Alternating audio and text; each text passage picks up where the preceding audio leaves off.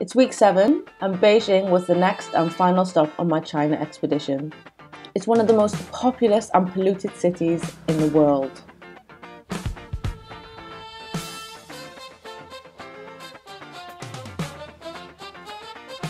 I just arrived in Beijing. I've booked a room through Airbnb and it seems like I'm staying in a council estate as you can see behind me. Um, I got my face mask ready because Beijing air smells like bonfire night and if you're not British, shit what the fuck? Okay. The room I booked was pretty cool. Never judge a book by its cover. I was welcomed in and told eat and drink what you want. Not bad for £14 a night. The location was great too, it was pretty central.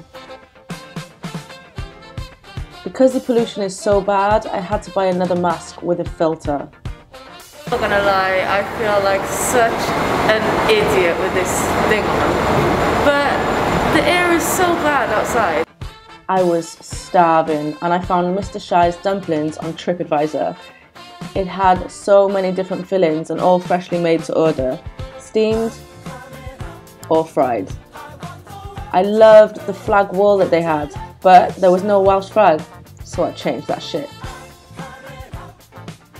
Next day, I took a train to one of the most iconic places on earth. It's so funny, everyone literally legs it to get a seat on the train. The train costs about 60p and you can buy a ticket for the attraction on the train too. Far away from the pollution, the train takes two hours from Beijing. I finally made it to the Great Wall of China.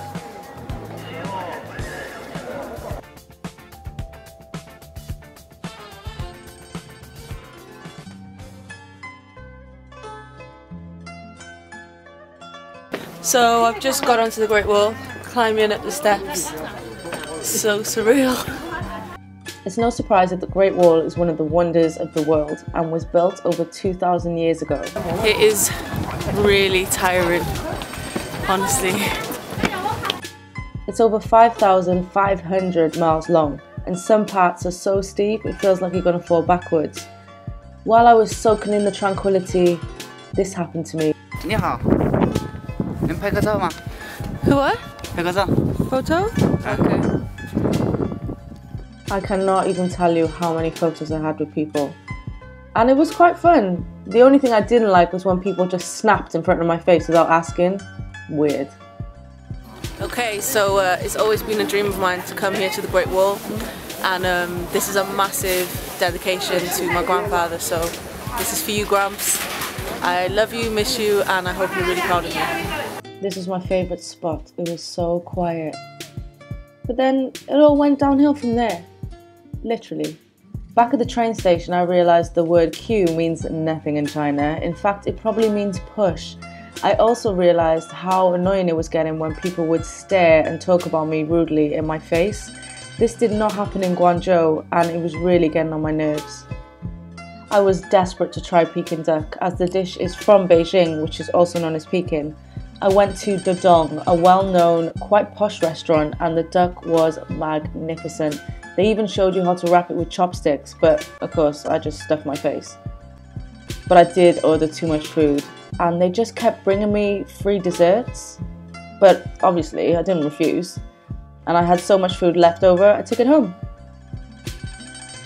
The traffic here is horrific, and it's really scary. I hated crossing the roads. It seemed like cars had right of way. The next day, I saw the real effect of the pollution. It can block out the sun, which is just shocking. I went to the Emperor's Temple and the Palace Museum, otherwise known as the Forbidden Palace, and I loved the intricate artistry. Beautiful colours.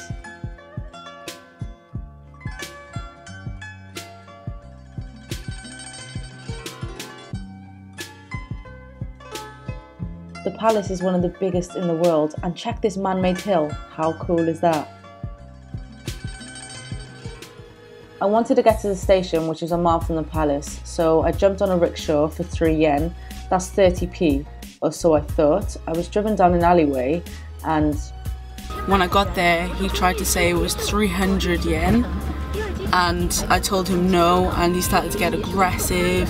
he tried to rob me and I pretended that um, I could get him more money at the ATM. I gave him 15 yen, um, which is like £1.50 and then I said I'll try and get you more money from the ATM. Then I pretended it wasn't working um, and then I jumped in a cab.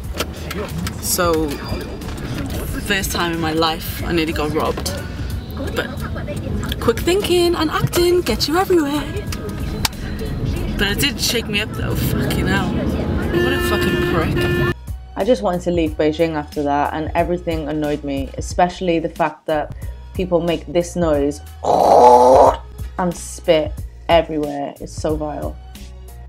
I didn't want to go anywhere else, but I made an effort to go to the infamous Yashow market. You can get fakes and really good bargains there. Always barter for 10% of the price they ask, and if you're white and blonde, I really feel for you because they will harass you. I don't drink much, but I needed a drink after my near robbery, and my Airbnb hosts invited me out. They were so nice, and if it weren't for them, I would swear every person in Beijing was horrible. Thank you so much, Mayo and Pierre. The only place I wanted to see was the airport. It was so unfortunate, but I did think Beijing was the worst city I've ever been to. But I'd go there again in a heartbeat just to see the Great Wall. I'm at the airport. This marks the end of my eight days in China. Um, it's been an emotional week and thank you so much for watching my video and see you next week.